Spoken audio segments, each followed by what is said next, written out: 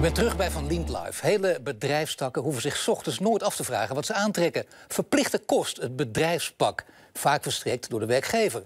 Maar ook steeds meer zelf aangeschaft door ZZP'ers. En die konden nergens terecht voor hun officiële werkpak. Dat wil zeggen, tot nu toe. En daar ga ik over praten met eh, twee heren die er alles van weten. Namelijk eh, Rick Burgersdijk en Jelle Gudde.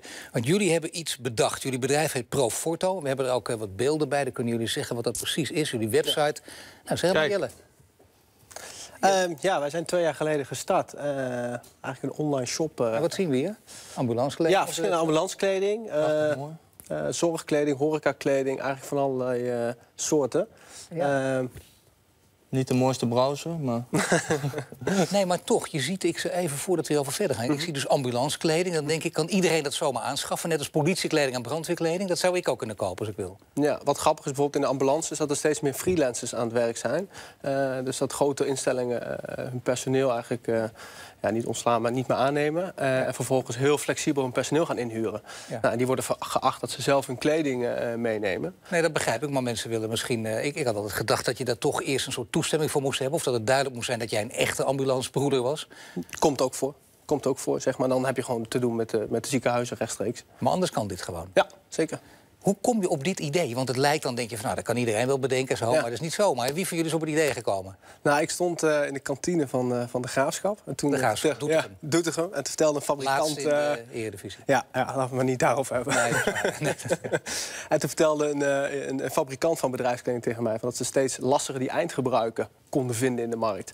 Ja. Eh, en dat zie je natuurlijk wel, want als je grote bedrijven... Ja, die eh, huren steeds meer flexibel hun personeel... steeds meer freelancers, steeds meer ZZP's natuurlijk in de Ja, bouw. de gewone stenen winkels met Precies. bedrijfskleding. Dan zeggen mensen, oh, die, die staan leeg, daar komt niemand naartoe. Ja, het is ook, ja, ook dat. Maar je ziet ook wel dat ze... eh, ja, het is geen, geen, geen retail, zeg maar. Het is niet op een leuke manier gebracht. Eh, Nee. Dus ja. Dus, wat dacht je Ja, dus die consument, ze shoppen als een consument. En Die, en die doelgroep, dus de ZZP's, freelancers... die is al gewend om te shoppen bij een bol.com, bij een Coolblue en dat soort zaken. En die willen dus echt B2C-voorwaarden. Dus gratis verzending, eh, achteraf betalen, snel producten in huis... maar dan voor hun professionele producten.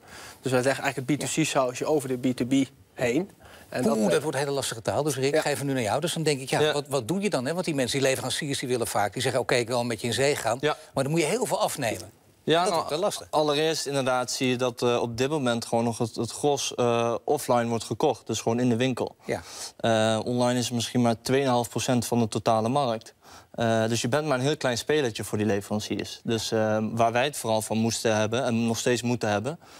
is het schetsen van de potentie die, Ja. die we online hebben. Dus hoe snel we groeien, hoe groot we kunnen worden. En dat, dat hebben we wel bewezen, denk ik, de afgelopen En vooraf of achteraf betalen? Dat kan achteraf. achteraf, Dus, ja. eh, ja, dat hebben, jullie, dat hebben jullie voor elkaar gekregen. Ja. Hoe kan dat dan? Ik bedoel, want daar zitten de meeste leveranciers denk ik toch niet op te wachten. Hoe is dat gelukt? Eh, oh, je bedoelt naar de leveranciers toe? Ja? Ja? naar de leveranciers toe kunnen we ook eh, in heel veel gevallen achteraf betalen. Eh, dat is toch een stukje vertrouwen. En, eh, maar wij bieden het ook naar onze klanten weer aan. Dus onze klanten kunnen ook bij ons achteraf betalen. Even kijken hoe het nou zit precies met die, met die bedrijfskleding. Laten we even kijken naar een mooi filmpje. Ja. De meest voor de hand liggende dragers van bedrijfskleding zijn misschien wel militairen en politiemensen. Maar ze zijn lang niet de enige. Wat bijvoorbeeld te denken van winkelpersoneel, ziekenhuispersoneel en bouwvakkers. En die krijgen lang niet allemaal hun kleding van de zaak. Want er zijn tegenwoordig steeds meer ZZP'ers die hun eigen outfit moeten aanschaffen. Branchevereniging Modint bracht in samenwerking met onderzoeksbureau GFK... de totale markt voor bedrijfskleding in 2013 voor het laatst in kaart. Toen droeg 37% van de Nederlanders van 15 jaar en ouder, oftewel 5,1 miljoen mensen, bedrijfskleding. Dat kwam neer op 42,3 miljoen kledingstukken. Als je dit allemaal weet, dan denk je, jongen, jongen, wat een grote markt. Ja, dat we weer- springen, ja. Daar ga je wel van lachen inderdaad. Ja. ja. Wat had je gedacht per dag te verdienen en wat is het geworden? Nou, vroeger zeiden we tegen elkaar... als we 300 euro omzetten per dag, dan kunnen we e- eten, leven. Kunnen we leven, ja. We werd het? Ja, je- ja, het is giga we groeien. Ja, zeg het maar. Ja, Nou, rond 10.000 eh Ik zeg, eh, hij wou ook niet zeggen, jij gelukkig wel. Ja, ja, maar we willen het zien, hè? We gaan, willen het zien. Kijk, we willen in dit programma, hebben we nog niet gedaan... we willen een kleine modeshow gaan houden... om even Ja, te zien ja, ja, hoe leuk. die bedrijfsleding uitziet. Vinden jullie het een goed idee? ja leuk. het leuk. Oké, nou, dan komen onze hologrammen aan. Nee, ze zijn echt. Daar komen ze. En we beginnen met Rosanne. Ja, kijk eens eventjes. Dit is Rosanne. Nou, zeg maar wat ze draagt. Jullie weten er alles van. Ja, ja, dit is horecakleding. eh dat is van het merk uh, Chau de Van. En wat je wel ziet is dat het heel eh, ja, frisse kleding is. Het is geen oudbollige kleding of zo. Beetje spijkerstof ook. Dat zie je ook wel steeds meer. Ja, daarom. eh, Dus, ja. Meer een eigen identiteit willen mensen ook. Charmante dracht ook. Inderdaad, geweldig. Rosanne, dankjewel. En dan gaan we naar de volgende. En de volgende is, want het is ook een bedrijfsleven van mannen, Ja. Bruno, hè? Onze stoere Bruno. Bruno. Ja. Wat heeft die toch aan, hè? Dat ziet er hip uit. Ja, het zie je ook hele coole eh, kleding. Dus niet, eh, wat ik ook net al zei, heel oudbollige en eh Nee. korenblauwe overal, maar echt eh, stoere kleding. En dat zie je ook wel. erop. De ZZP'ers, die werken voor hunzelf, dus ze willen heel stoer overkomen. Maar op, wat voor kleding is dit nou? Wie draagt die? Eh, ja, dus echt wel veel de ZZP'ers. Dus dat is ook wel Nou, dat weet ik, maar in de bouw dus. Ja, Ja, heel erg in de met name bouw, de eh, constructie, ja. ja. Ja, nou, dat is wat anders dan vroeger in de bouw. Bruno, geweldig. Hey, dankjewel. En dan komt onze laatste. We hebben er nog eentje. Dat is Esmee. Ja. Dus, eh, nou, ook in de zorg zie je dat er steeds minder wit ge- Oh ja. gedragen wordt. En dat er steeds meer naar kleuren. Dat het, eh, ook het personeel, dat het voornamelijk een stem van het, van het personeel is dat ze ja, gekleurde kleding willen. Gekleurde kleding, dat willen ze ook. Ja, dus dit is het eigenlijk ook. Ja. Dus Ja. totaal anders dan vroeger.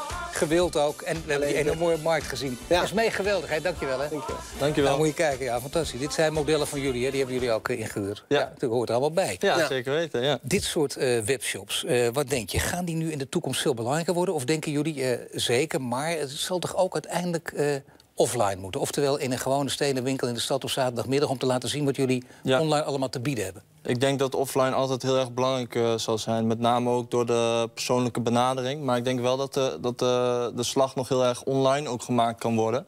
Om het, eh, het eh, online winkelen persoonlijker te maken. Dus met een eigen pasassistent, eh, makkelijk bedrukken en borduren configureren bijvoorbeeld. Daar proberen we nog wel heel erg stappen in te maken. Maar moet, je dan vooral, maar moet je dan vooral letten daarbij op de klant... of moet je vooral letten op de leverancier, Jelle? Wat is het belangrijkste? Ehm, ja, wij zeggen altijd, de klant is er al wel klaar voor op dit moment. eh, het online shoppen. Eh, dus die, die, die kent het al en die weet al hoe het moet. En dus, dus we zien ook alles wat we nieuw presenteren, nieuwe merken of zo. Dat begint gelijk te lopen, want die kan gelijk die producten aanschaffen. Maar we zien juist dat de toeleveranciers ja, de gedachtegang moeten zetten... oh, kan dit ook online? Eh, En dat is echt de laatste stap die je moet nemen. Als ik dan zeg, eh, clichématig, ik ga er een boekje van maken... het geheim van de webshop, dan staat dat erin. Uiteindelijk let op die leverancier. Ja, dat is wel een heel belangrijk aspect voor ons. Die moeten wel eh, ja, volledig meegaan in onze gedachten en filosofie. Dus dat proberen we ook elke keer te brengen met eh, pitches naar leveranciers toe. Vertellen hoe wij erover denken in de nieuwe wereld. En eh, nou, je ziet wel langzaam dat ze eigenlijk allemaal al mee. En we hebben net gezien in de nieuwe wereld... en wat hij nog te bieden heeft aan de cijfers. Ja, Heren, ja, ja, dank je wel ja. voor dit gesprek. Dank je wel. Dankjewel. En dit was Van Dient Live van dinsdag 3 november. Ik dank u voor het kijken. En morgen ben ik er weer met nieuwe gasten om 10 uur op RTL Z.